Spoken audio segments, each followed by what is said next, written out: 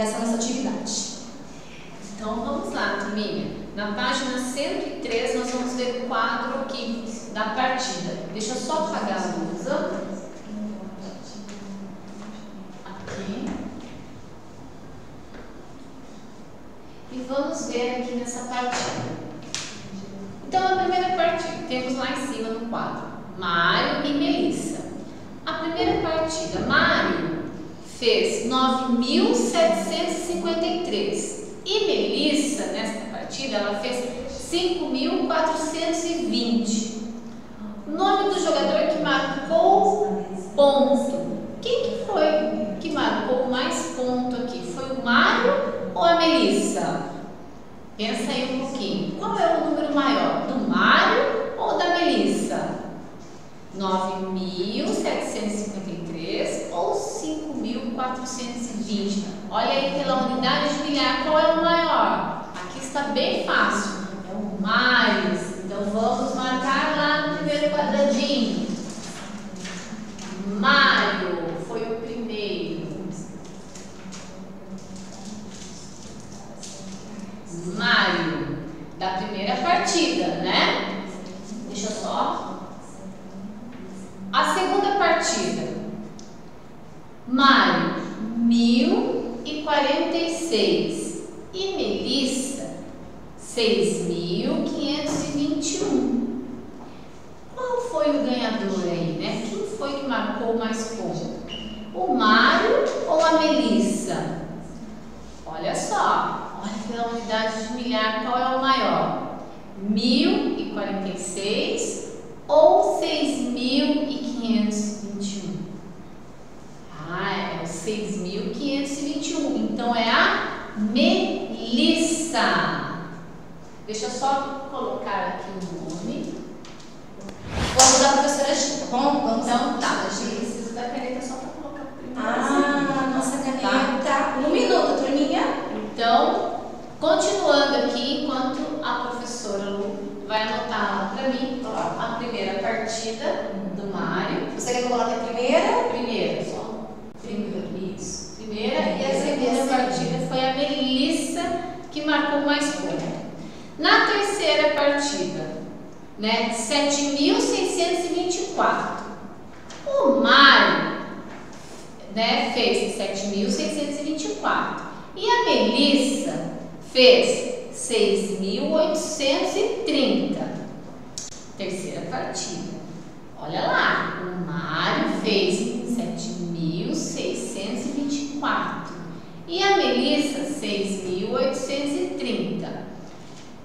Olhando pela unidade de milhar que vai facilitar, hein? Qual é o maior número? 7.624. Então, quem marcou o ponto desta vez foi o Mário. Vou colocar o Mário. Terceira partida, né? Partida. Muito bem. Agora vamos para a quarta partida. O Mário, ele marcou 5.000, 5.310. E a Melissa marcou 8.712. Quem foi que marcou o ponto aqui? 5.000 ou o de 8.000? Olha lá pela unidade de milhar. O maior é 8.712. Então, quem marcou desta vez foi a Melissa. Vamos lá. Na quarta partida.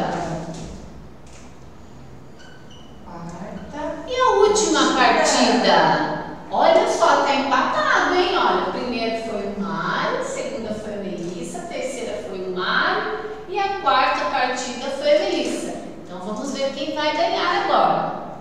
Na quinta partida, né? O Mário fez 9.798 e a Melissa fez 9.843. Olha só, a unidade de milhar, as duas são 9 mil. Agora nós vamos ver então, para facilitar, pela centena. Qual é a centena do Mário?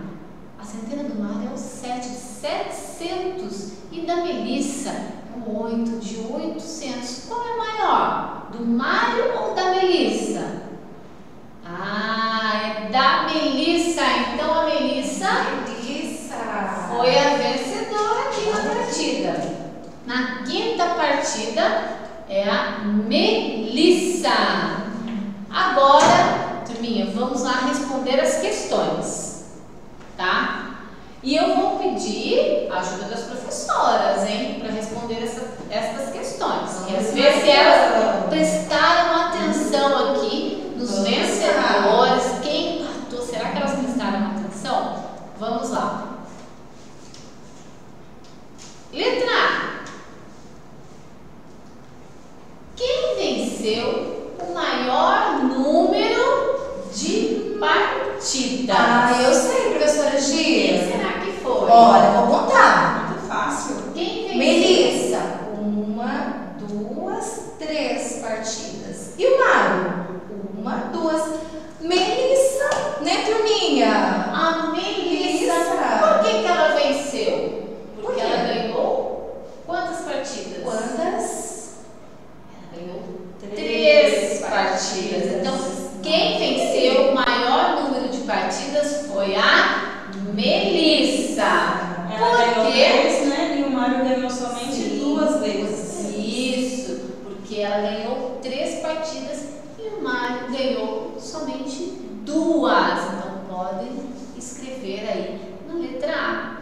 Então quem foi a Melissa, porque o Mário ganhou somente duas e a Melissa três. A letra B. Observe a jogada de Mário na primeira partida. Ele organizou os algarismos de maneira que o número formado fosse o maior possível? Explique. Será que ele organizou o número como se fosse o maior possível? Então, Mário, ele, na primeira partida, ele colocou 9.753 e a Melissa, 5.420. Olhando pela unidade de milhar, qual é o maior, então?